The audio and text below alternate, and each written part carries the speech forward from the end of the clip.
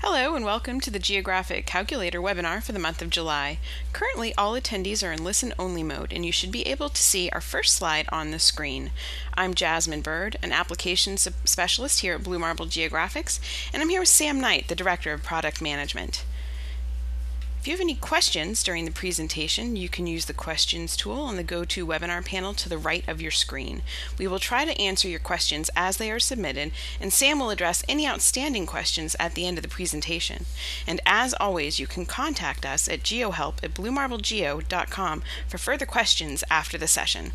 We have some upcoming events as well that Sam will talk about. At this point, I'm going to hand off to Sam Knight, Director of Product Management. Thank you. Okay, thank you, Jasmine, and good morning, everyone.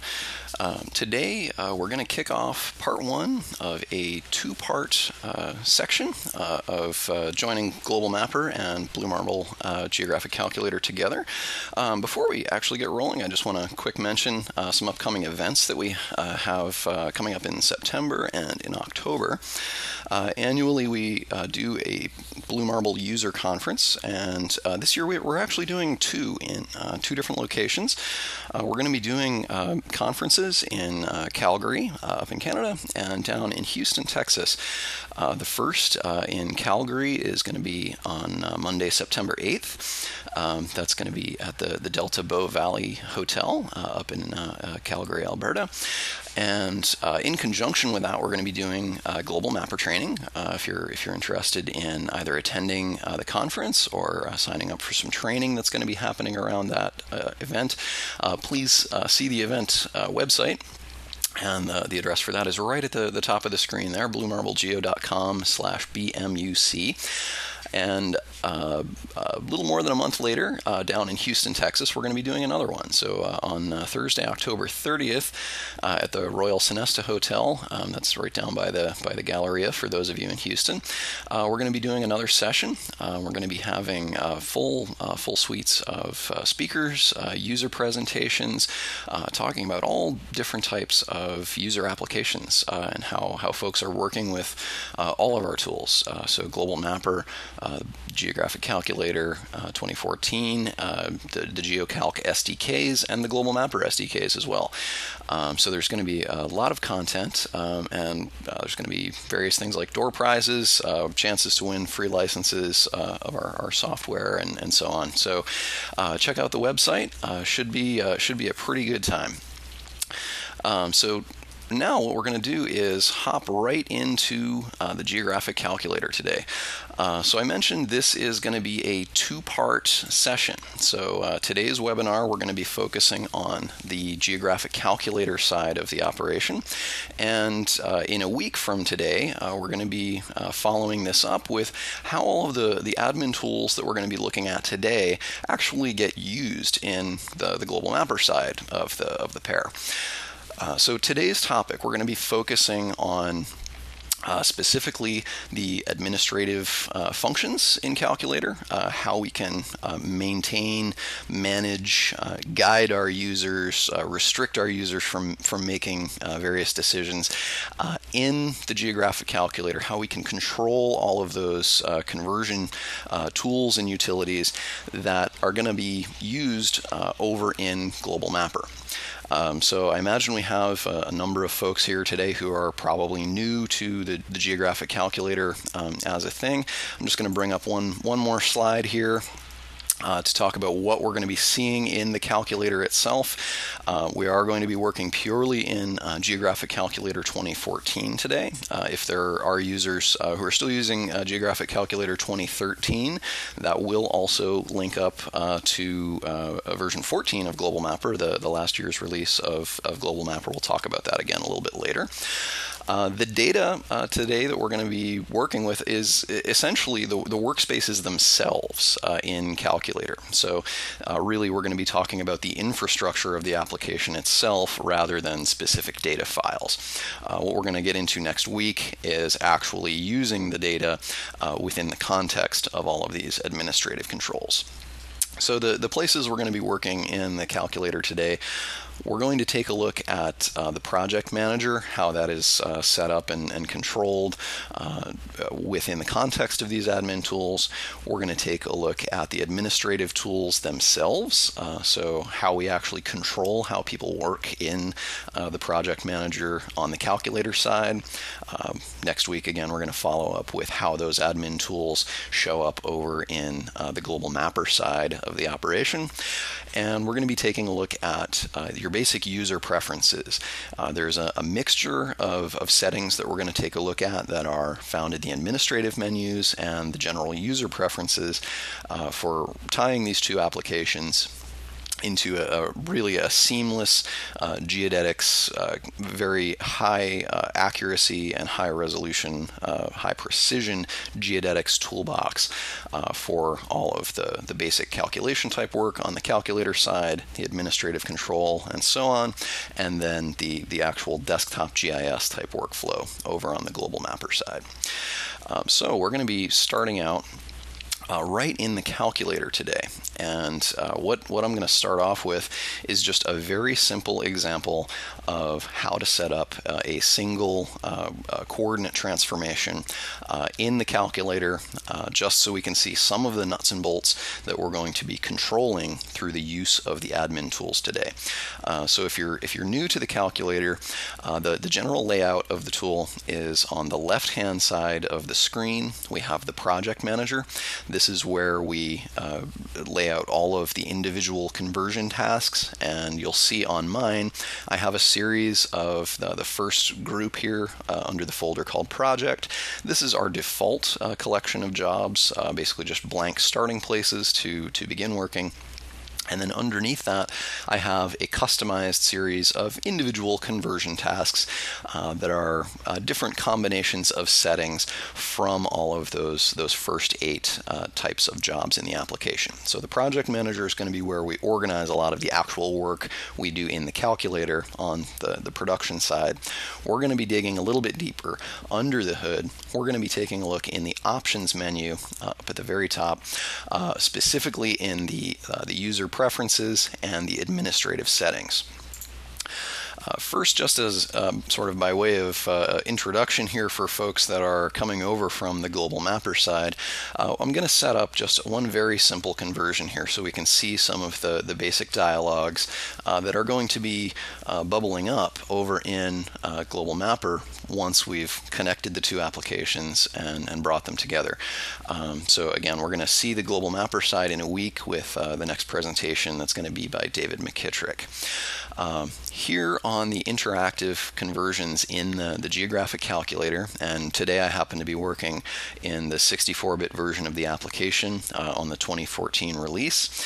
Um, all of the stuff we're going to do today is going to be able to be done in 64-bit as well as 32-bit in both applications. So that's 32-bit and 64 calculator as well as global mapper. Um, we're going to start out here on the interactive conversions job, and this this is essentially our default job. Uh, it's the first thing you see as a user when you fire up uh, the geographic calculator uh, for the very first time. Uh, in the project manager over on the, the top left there, you'll see it's uh, represented by this interactive conversions item in the, the very top project there. And normally this starts up as a, a blank uh, job with no coordinates entered. Uh, the coordinate systems simply set to their defaults of WGS84. Uh, things like the defaults we're going to be taking a look at as we get into the preferences uh, and the admin tools because those are something that you can actually set controls for over on the global mapper side as well. Uh, where we're starting here is I've already entered a few uh, bits of data. I've already set a coordinate system and I've already given it a coordinate uh, itself. So just for a, very simple example here, we're going to be talking about a single latitude and longitude point. So I have a latitude of 44 degrees north, a longitude of negative 70 or 70 degrees west, and I've set those up in the coordinate system, a lat-long coordinate system or geographic coordinates of NAD 27, the North American datum of 1927. It's our older uh, common survey model here in uh, North America. Uh, for setting this up, the only place that we would actually start one step ahead of this would be in setting the coordinate systems. So throughout uh, the calculator and as well on the global mapper side, once we've linked the two applications together, we're going to see some of these standard controls for making some of these selections. So uh, in on the calculator side in particular, we do, we do this one way. In the global mapper side, we're going to see we make our selections just a little bit differently. Um, but what we're going to do here is double click on our system box. And uh, in the calculator side of things, we're going to get a few different prompts, and we're going to we're going to interact with these differently uh, in Global Mapper. So we are we're going to see how some things are similar and how some things are different. On the calculator side, we have the ability to sort things out uh, by geography. Uh, we have some of the same tools over on the global mapper side. We have some optional prompts, and some of these things are going to be controlled by our user preferences, and some are going to be controlled by our admin tools. So in the calculator, the first prompt that comes up is Would we like to narrow down the list of coordinate systems by geographic area? Um, specifically, this is going to allow us to interact with a map define where on the planet we're we're working uh, before it's going to narrow down those those lists of, of coordinate systems that we see. Uh, I'm actually going to skip past this right now and, and get into the whole library because this is a little bit more relevant uh, for those of you on the global mapper side. Um, so in our complete library, uh, what this is going to show us is an unfiltered view of everything in the database of coordinate systems. Uh, so one of the, the very common questions uh, folks uh, come up with when considering linking your, your two applications is why, why would I want to do this in the first place?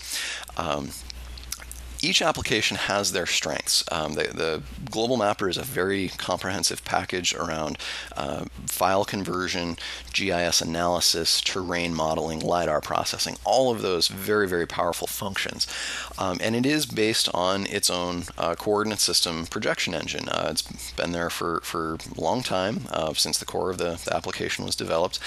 Um, but it, it doesn't have as much stuff in it as the database on the calculator side.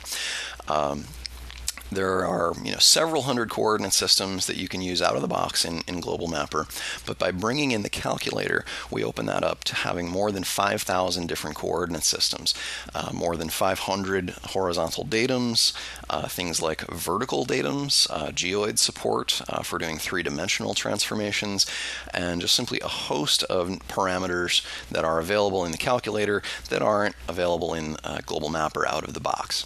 So what we're going to do here is bring together uh, the, the high powered geodetics engine of the geographic calculator, and we're going to link that up to the high powered analysis and mapping functionality that we have in Global Mapper. So, in uh, the, the, the geographic calculator side of things, this dialog that we're looking at now, the select coordinate system from database dialog, this is uh, a dialog that you will directly see in Global Mapper once we've linked those two together. So you have access instantly to all of the, the host of coordinate systems and transformations and various parameters uh, that, are, that are available. Uh, since I already had a coordinate system set, it's going to open me up to that particular location in the database. And what we'll see is uh, I'm working down under the geodetic category of coordinate systems, so geographic coordinates, lat long, a few other names for those same types of things. Uh, we'll also see projected coordinates, uh, string based uh, coordinates that are formatted values for, for different specialized grids, things like military grids or survey grid systems, uh, various other purposes in there.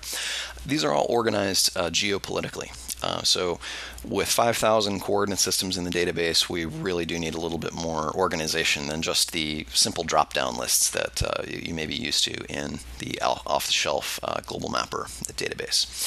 Um, so these are nested uh, in subfolders, uh, first by continent or uh, some special categories like time-based coordinates, uh, and then by smaller political subunits or geographical subunits. Um, such as either countries or major islands that, that make up a, a regional area. Uh, so I'm down under North America. That's where our NAD27 coordinate system is found. Uh, you'll see various information uh, available about that particular coordinate system. Things like uh, what type of units it deals with, uh, the datum that it's based on, uh, the area of use for that system, how many dimensions that coordinate system is intended to be used with, whether it's two or three, and things like EPSG codes. Uh, there's more information available to each of these, and we can access that simply by selecting the system and hitting the info button, or we can right click on that and say view info. Uh, on the information panels, these are also going to be available over in Global Mapper uh, once these are linked together. So we can explore all of the same data for all of these, these systems. Uh, the information panels have uh, two tabs to them each. One is identification. This is for uh, basically cross-reference information, and the definition panel where we actually have all of the explicit parameters of things like a coordinate system uh, or a transformation or units or so on. Um, every single piece of the geodetic definitions is exposed uh, through these dialogues without needing to cross reference any other documents. So, if we want to see exactly where the area of use of this coordinate system is, we can open the information of that. Uh, we'll have a full text readout of where that is, is used, and we'll see both a bounding box as well as a polygon map of where that coordinate system is used on the planet. Uh, so, there is nothing invisible uh, that goes on uh, in, in terms of the, the geodetic uh, parameters that are being used in here.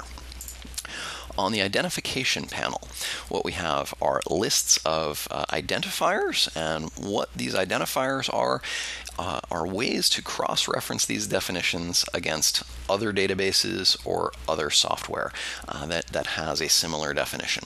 So you'll see everything in here from uh, these CS codes in particular are uh, correlating to uh, CS map uh, as an engine, EPSG codes, ER mapper software, some of those those older codes that, that were used in the ER mapper software, PRJ codes that you might find when working with Esri software, SRIDs from Oracle databases, and, and so on. Uh, we might have multiples of each of those, and so you'll see some of these have, uh, for instance, here we've got CS and then CS2. So there might actually be two codes that, that cross-reference into a, a given uh, database.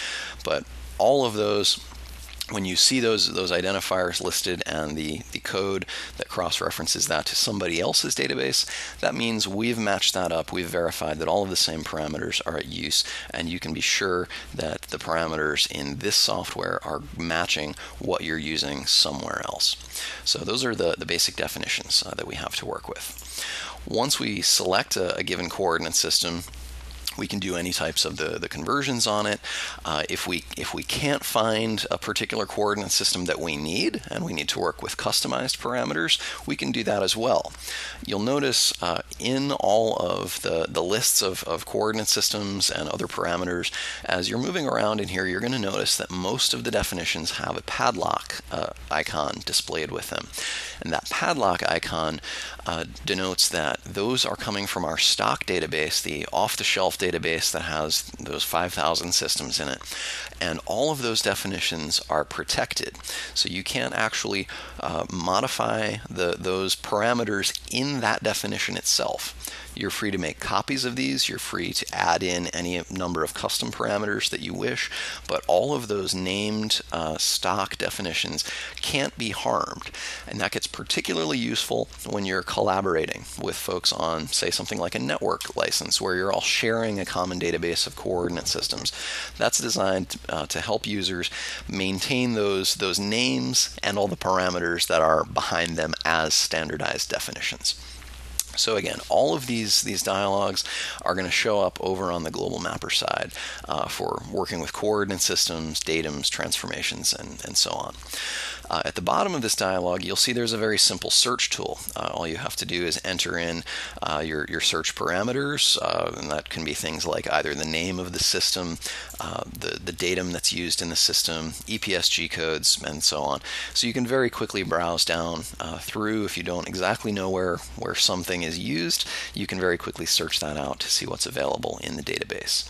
Um, so I'm going to simply select my, my NAD27 coordinate there and come back to the main screen.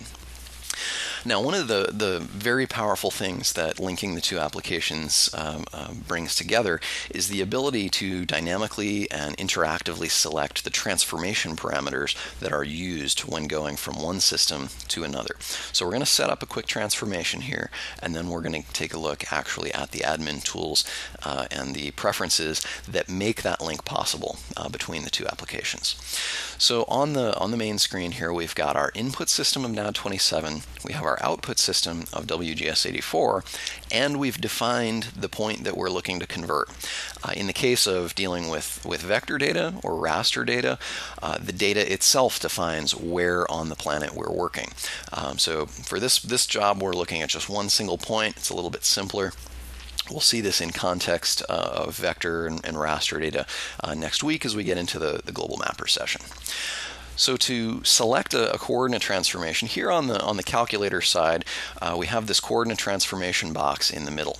So we define where we're working or the data that we're working with, the coordinate system for input and output, and then we simply double click to activate the coordinate transformation selector. Now this dialog as well is going to be available over on the Global Mapper side for interactively selecting these transformations. We are going to see a nuanced way of doing this. There is a there are two settings that we can apply over on the Global Mapper side for either auto selection of a datum transformation or manual selection of the datum transformation. Uh, right now what we're going to take a look at is more akin to the manual uh, uh, selection of those datums. So you'll see there's a, a world map that's going to uh, display. Uh, when we take a look at all of the possible ways to connect those two datums, so to get from NAD27 to WGS84, you'll see we're returning four different ways to do that. Uh, now, on the global mapper side of things, out of the box, when you pick a particular datum, it comes with one set uh, transformation value linking that datum to WGS84. You'll notice some of the parameters that I have here actually stop on other parameters in the middle. So I can go from NAD27 to NAD83 and then NAD83 to WGS84. So I can actually bring uh, two sets together and sometimes that is a, a, good way of getting a more accurate transformation overall than using a low accuracy direct transformation. And we're actually seeing a good example of that right here, where we have our NAD27 to WGS84 parameters. The direct shift is only listed as accuracy of 5 meters, but we do a little better than that when we stop off on another horizontal datum in between. So uh, the dynamic nature of picking the, the combination of systems and the transformations is one of the main strengths of linking these two applications together. The calculator is very good at uh, helping a user make a, a, very high accuracy decision about which transformations to use uh, and increasing the number of systems that we can connect in between. So the transformations themselves we see a list here of four possible ways of linking these two systems together. Now, if we click on any of these transformations, those transforms are all intended to be used in a particular area of the planet. And so we have both the, the systems that we're, we're connecting up, uh, that's going to give us one combination of, of ways to get through there. And then we can actually focus that down based on the, the region uh, that we're uh, interested in on a much more fine-tuned level. So we have uh, some of these transformations. As we click on, on each of those, we'll see uh, this, this first one that I've grabbed onto is intended to be used anywhere within the lower 48 states of the US. Uh, if I click on the next one down, that particular transformation is intended to be used specifically here in, in the region of the state of Maine. Uh, if we click on um, some of the others, they're you know back out at the whole U.S., uh, a different part of New England, a nearby part of New England.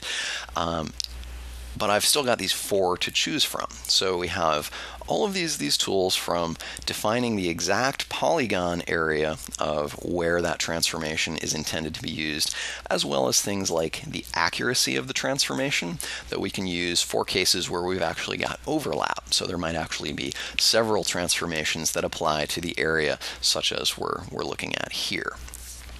Now, um, this is this is the the main thing that uh, that we're after is this this powerful selection of the best way to transform data from one system to another from the the most number of possible systems. So what we have here is uh, our tools for assessing the accuracy of the transformation. Uh, the accuracy is uh, something that is reported with a transformation. So within say uh, the accuracy is essentially saying within the bounds of this this area that the transformation is intended to be used in, you are expected to maintain this level of accuracy when when selecting these these transformations.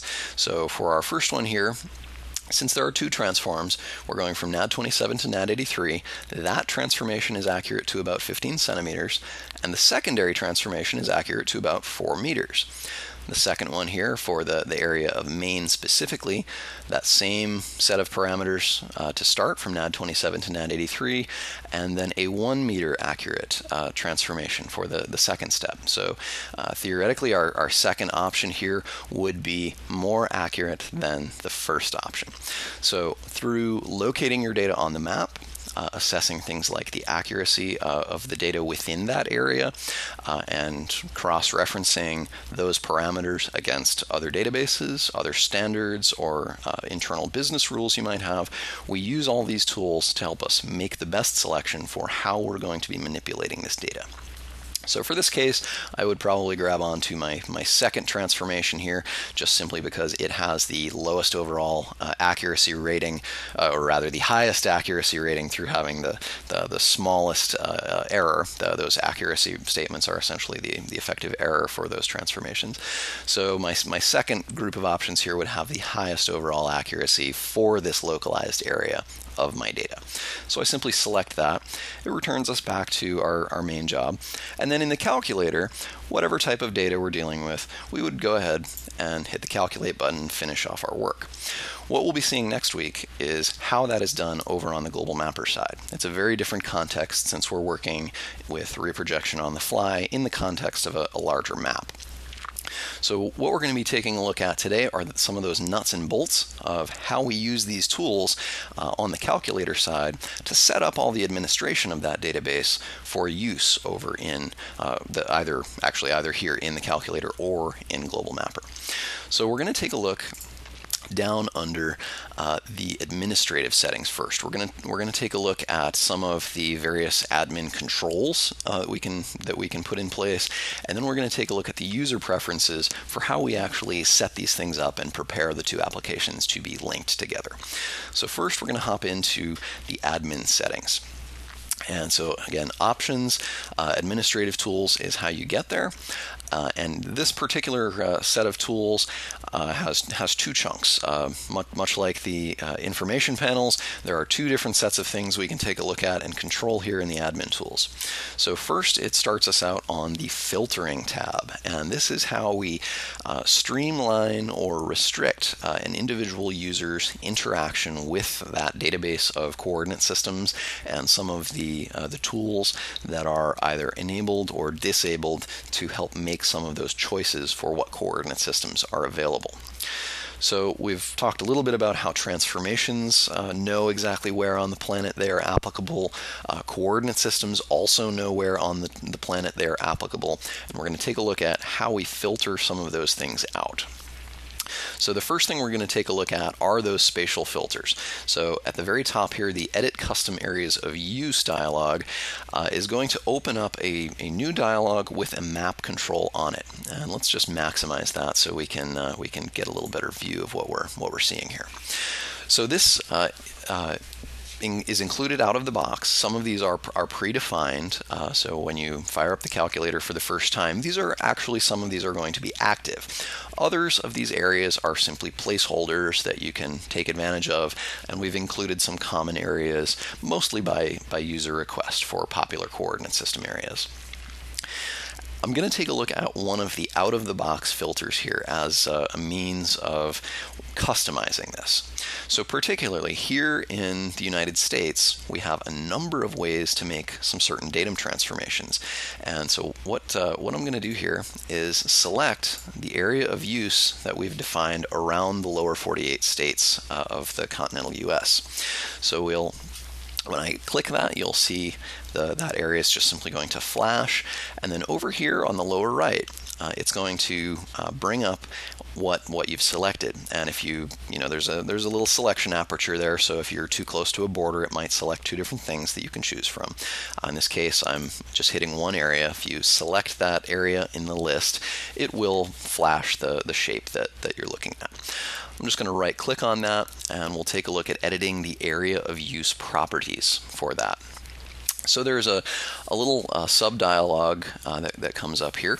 Uh, we can name any of those those areas of use, um, and I'm going to clarify this by saying these are the out of the box ones. Everything that we're going to take a look at here, you can actually do yourself. Uh, so you can add your own uh, layers on top of this to pull polygons from, or you can actually simply hand digitize around given areas to uh, customize those filters.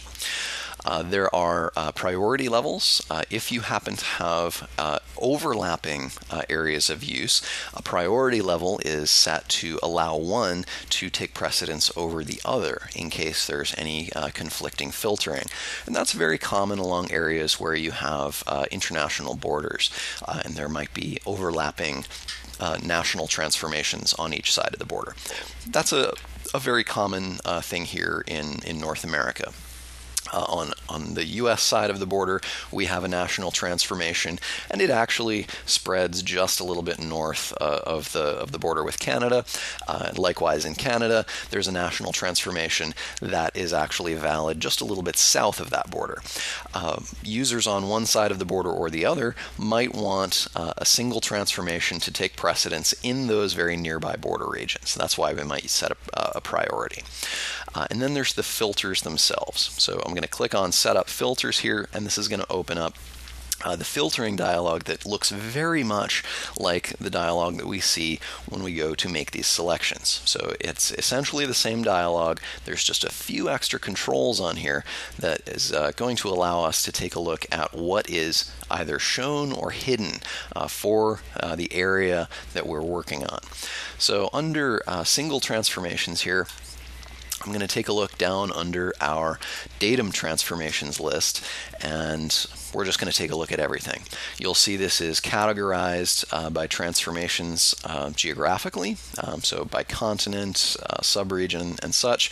Um, what I've done is selected the entire list here so we can see uh, everything uh, in, in the database. So there's about 1,800 to 2,000 different transformations available.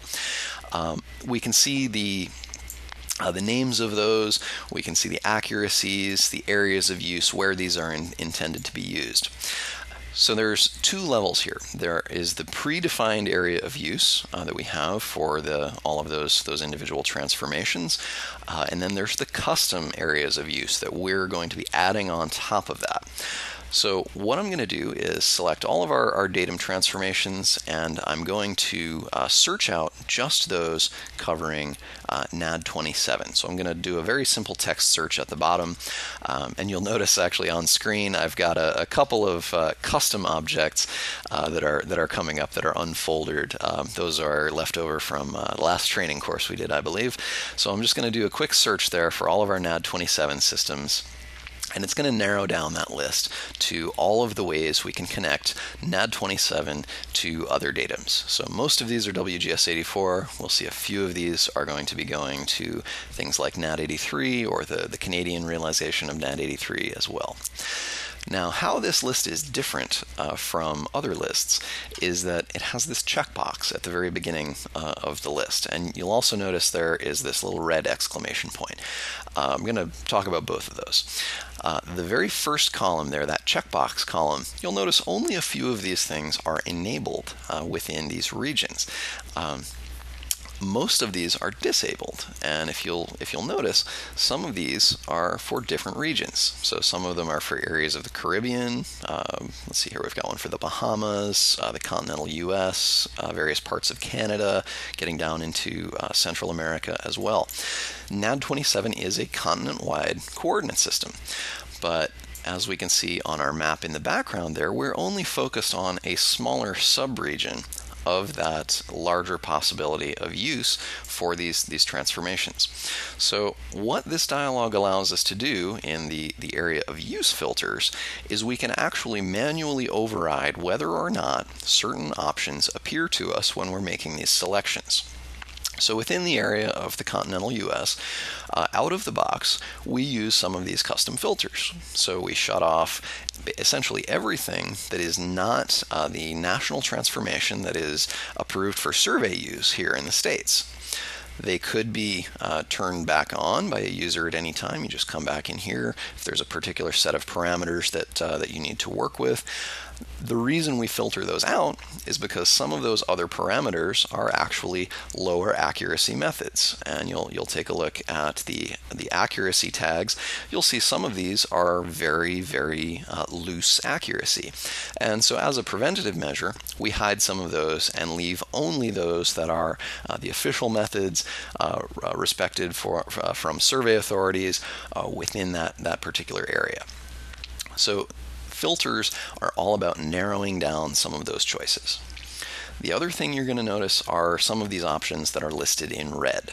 Um, you'll see the, the text of the, the names and such are going to be in red, and there's also going to be this red exclamation point uh, at the beginning uh, of, the, of the entry there. What that indicates is that that particular transformation is uh, not ready to be used. Uh, most of the time, what that means is that transformation is dependent upon having a certain set of uh, data files on your local machine.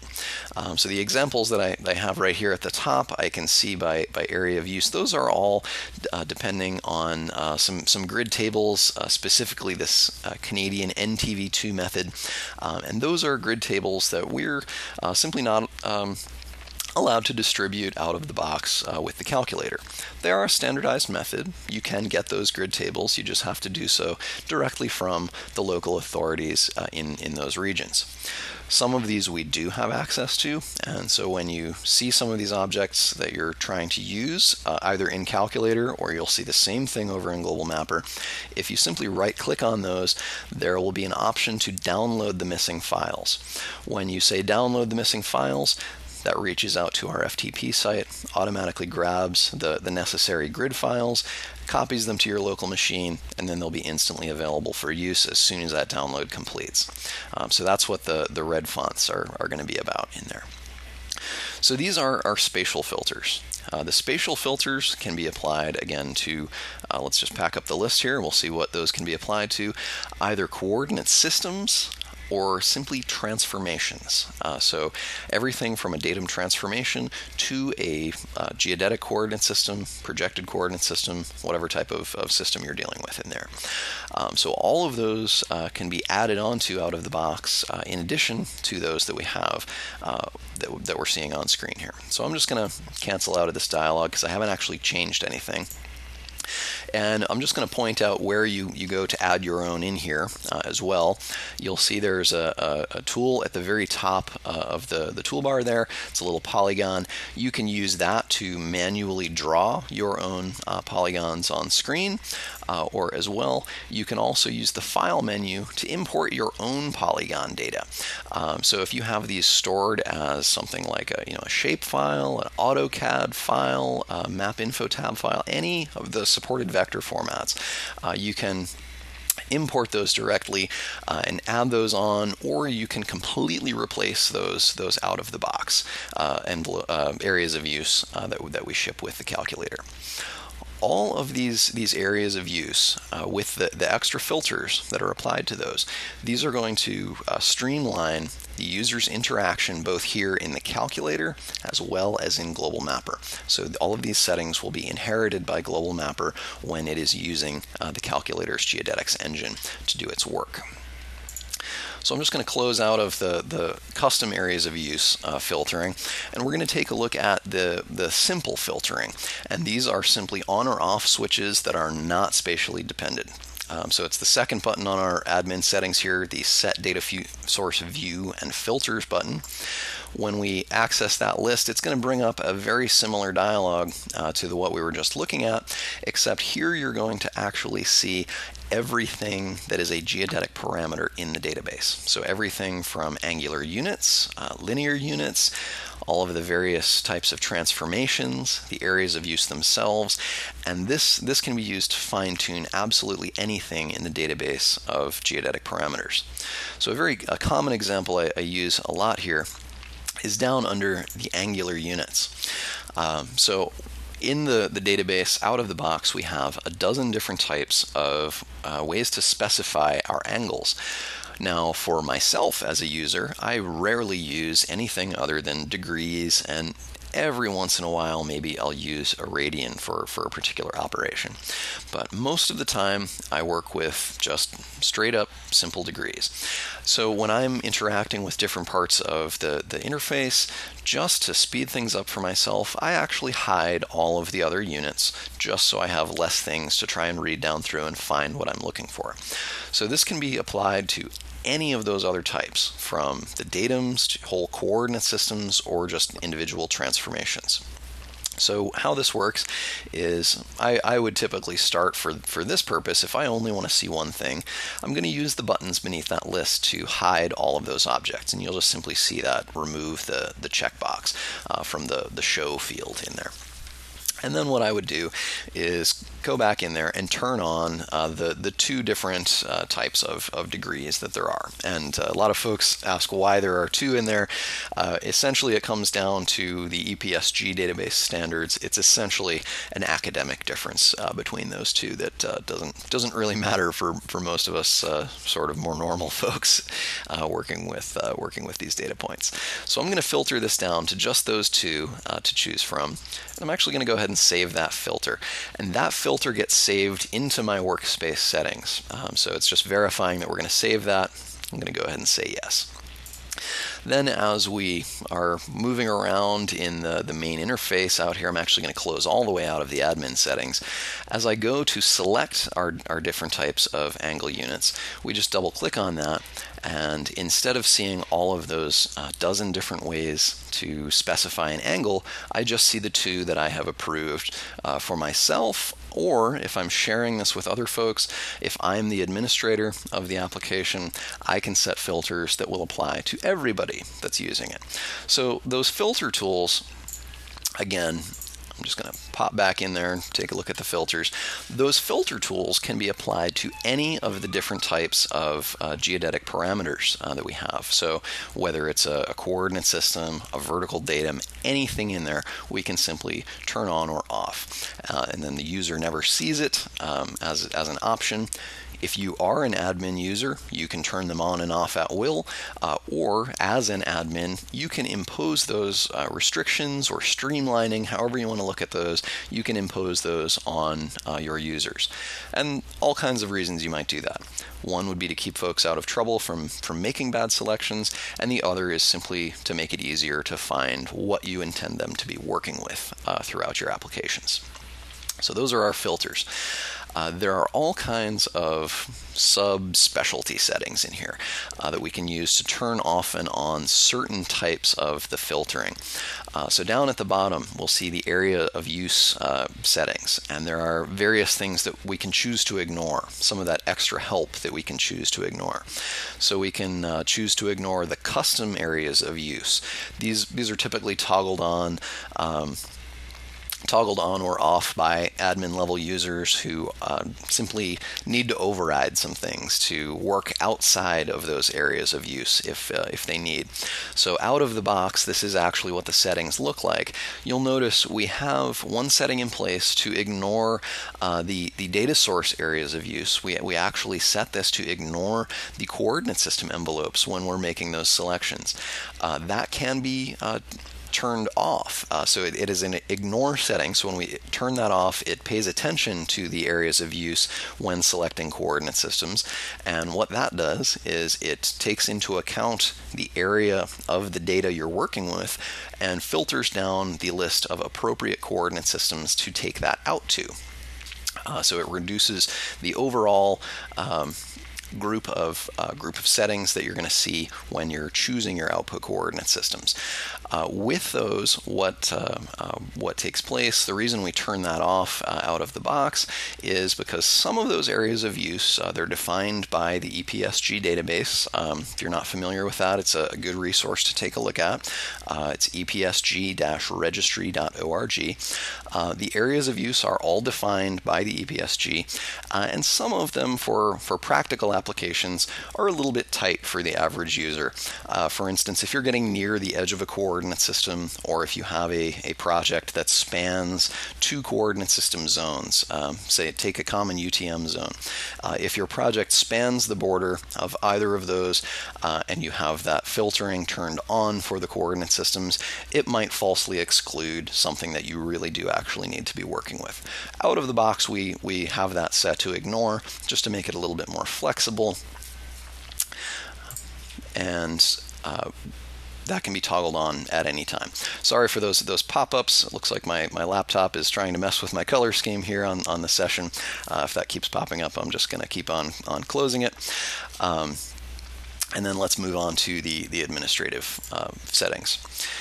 So on the administrative uh, tab of the administrative settings, here are various things that a, a true admin user uh, might use mostly within the context of administering uh, a group of users that is, uh, is going to be working with the GeoCalc tools either here in Calculator or both in Calculator and Global Mapper. So these are various things like uh, locking certain settings, like locking which data source you're getting all of those parameters from, whether or not your end user is able to manipulate that data source, um, how uh, essentially how much they are able to customize the parameters that they're dealing with. Down at the bottom, there are various locks on things like overriding spatial database connections, uh, whether or not a user is allowed to use a null transformation in, in some cases, and some, some very uh, specific settings about controlling the fine tuning of these, these various geodetic operations we can, we can maintain all of this is able to be password protected. You'll see that right at the top there. So if, if you wish to actually really restrict your users from being able to make some of these changes, you set these options in place, set a password for that workspace, um, and then either here in Calculator or in Global Mapper, they're not going to be able to mess with the, the geodetic database that you have laid down for them to, to use as, as the approved database. Um, the administrative settings, that's, that's pretty much all we wanted to talk about here. For the admin settings, I'm just going to follow this up by uh, going over to the user preferences. There are some ramifications here uh, when connecting to applications. There are some practicalities that you may run into. I'm just going to talk about uh, simply saving those files, uh, where we're going to store things, how we connect these two applications.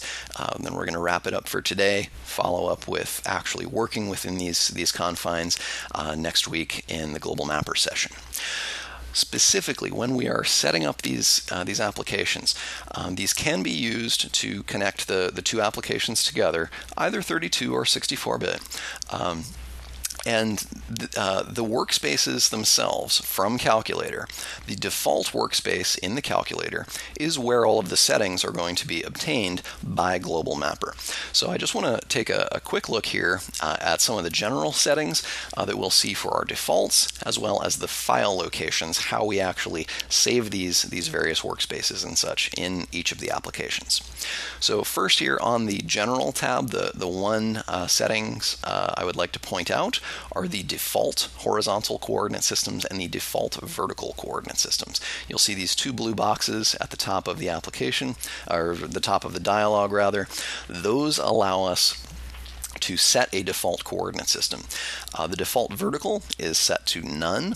Um, that a lot of users do leave that set to none, but if you do purely work in 3D coordinates, you may be interested in setting a default uh, vertical system there as well. Um, the horizontal coordinate system is defaulted to WGS84. That's fairly standard through most uh, spatial applications, but uh, if you are working in a, a specific region and you tend to work in one more uh, more specific localized coordinate system, you can simply double click on that uh, setting and find whatever uh, default coordinate system you wish uh, to see. That will bubble up here in the calculator as well as over in Global Mapper. Um, Lastly, I just want to talk about the file locations. Uh, the file locations are a little bit key to linking these two tools together. Um, namely the workspace file, uh, the default workspace that we see in the application. Uh, if you're looking at your own tools, you're going to see that I have a different workspace uh, set as my default uh, than, than the normal one. Um, you can move to a custom uh, workspace. You can change the location of that. These can be put out on network resources if you're trying to share these uh, between different users. Um, it doesn't matter where that is saved, but the important thing to note when connecting the two tools together is that Global Mapper is going to pay attention to the settings that are stored in your default workspace. So that's this very top field here on the File Locations tab. Um, that uh, that workspace is also going to store these data source files. So the main data source and the custom data source, those are the two databases where all of your geodetic parameters get stored. So um, the the paths that are in there come from that default workspace. Those need to be accessible by every uh, user that you are uh, hoping to have use uh, the the tandem geographic calculator with Global Mapper accessing the libraries. Um, if that is a, a, network resource, that's that's fine. Um, it can be a local resource as well. The only thing is Global Mapper also needs to be able to see to whatever that location is. That is really the, the main backbone of linking those two together. Um, I mentioned, uh, I actually see some questions coming in uh, uh, clarifying some of these. Um, I, I, mentioned that this works with either version of either application. So we have uh, Geographic Calculator 64 bit and 32 bit, we have Global Mapper 64 bit and 32 bit. When you are using mixed versions. So let's let's just take for example, I'm working here in Geographic Calculator 64-bit. Say, for example, you were working in Global Mapper 32 bit for whatever reason, or the other way around. Maybe you're working in Geographic Calculator 32 bit and Global Mapper 64 bit. Uh, that is entirely possible. It still keys into those default workspace locations. Um, the, the general hierarchy here is if you have uh, both versions of either application installed, uh, Global Mapper will try to take a look at the 32 bit uh, uh, application's default workspace. Uh, if you only have the 64 bit version installed, it will then look at that. But uh, generally, for, for best practices, how we recommend to, to set this up is if you have both 32 and 64 of each application, what you want to do is set the default workspace on the calculator side specifically, you want to set that default workspace to the same file location. So each application uses that same default set of workspaces. What that does is it allows both of your calculator uh, installations to share those settings without any uh, confusion of the of the filtering. And uh, allows uh, Global Mapper to easily get the same the same sets that you are used to working with in both of your calculator tools. On the Global Mapper side, it simply automatically looks at that workspace location. Uh, it does not uh, need to be uh, controlled. Uh, so if you have Global Mapper 32 and Global Mapper 64, uh, it will both of those will look at the same default workspace.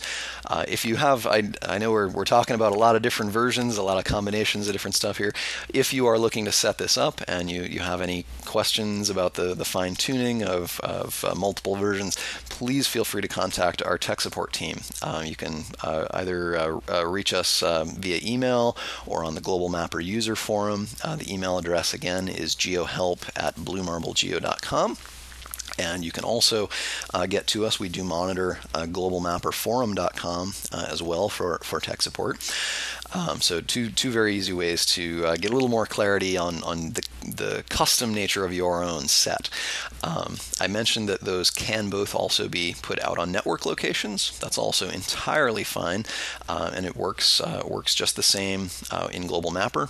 Uh, Global Mapper will simply depend on whatever this default workspace is on uh, the calculator side.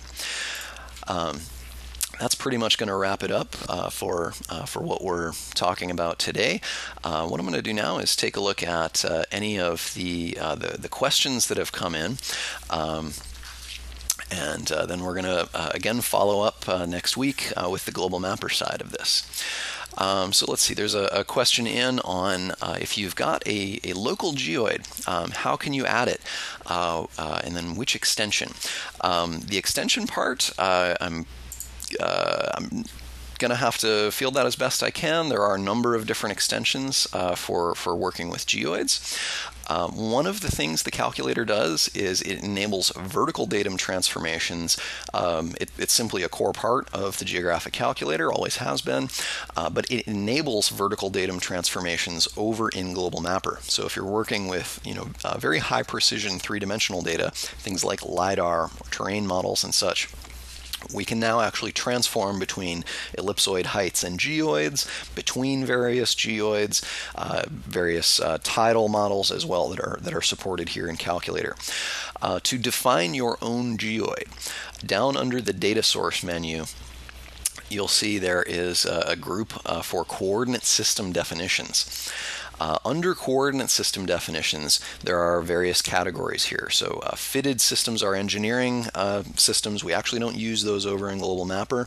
Uh, geocentric systems as well are not used in Global Mapper. Those are 3D Cartesian systems, uh, Earth centered, Earth fixed. Uh, primarily, what you're going to see in Global Mapper are geodetic, projected, and vertical coordinate systems. So, if you're if you're looking to add your own geoid model, there's a couple of things you're going to have to add. Uh, first, uh, you're going to need to add a vertical datum, and I'm just going to back out one step here and show you where that is.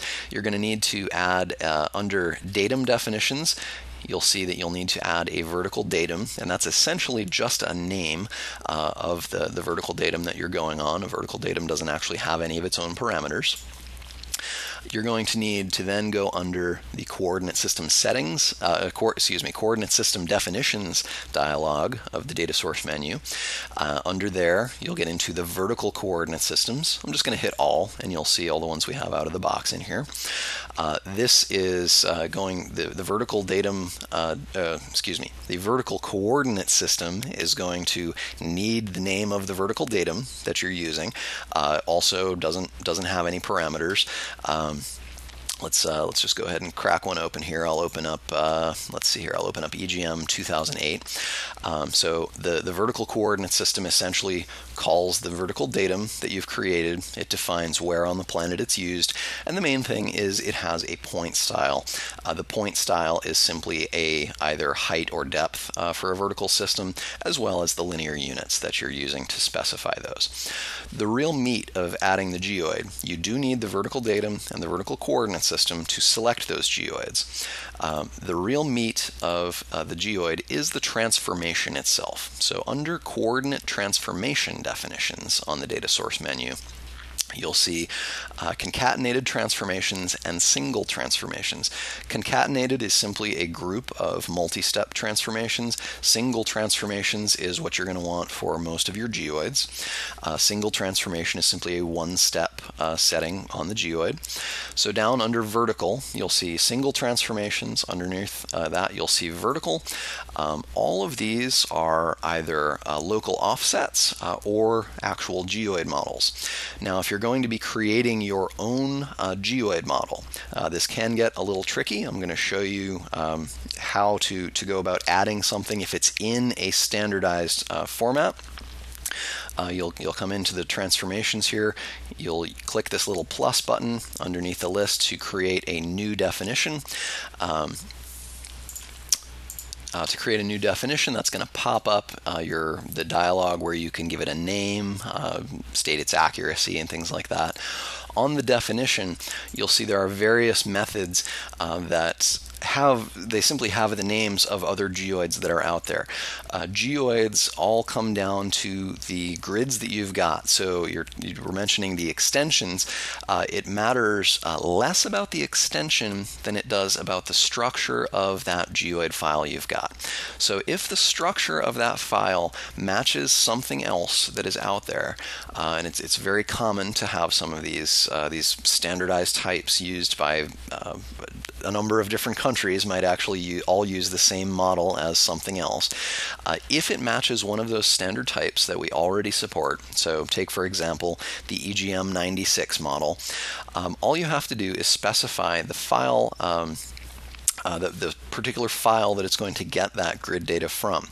Uh, there are some that call one specific file, such as EGM96. Uh, there are others, such as the various United States geoid models, where the file itself is irrelevant and you specify the extension to look for a group of files in there. Um, so uh, one of the common ones here, I'm just bringing up US Geoid model of 96 because it is fairly common. A few countries uh, do use that same grid structure. If you've got a grid of that, that structure, you simply enter in uh, the extension uh, and the path uh, to that. The, the path uh, is pointing to a specific folder in your installation.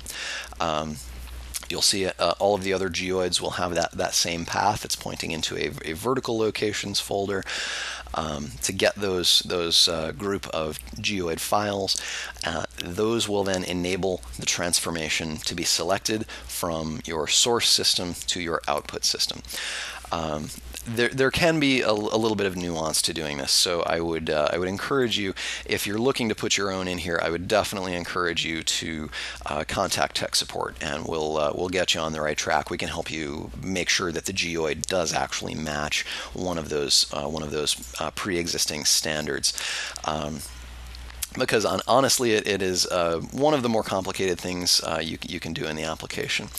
Um, so I, I, hope I answered your question there and um, uh, we'll have to take that one offline. So if you want to follow up, uh, we can uh, hopefully get you on the right track with the uh, with uh, setting up your your custom geoids.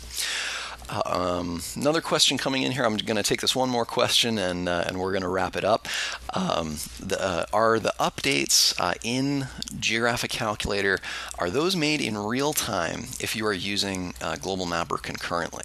Um, the answer to that is no. Uh, when you're working in the Geographic Calculator, all of those updates they actually have to be saved uh, in place. You've got to save that workspace um, rather than having them instantly available. So if you're working in the geographic calculator, making some edits to those those various filters, the various settings, um, once you save that workspace and then start up Global Mapper, you will see uh, all of those things like the filters, the admin tool restrictions, all of those will, will take place.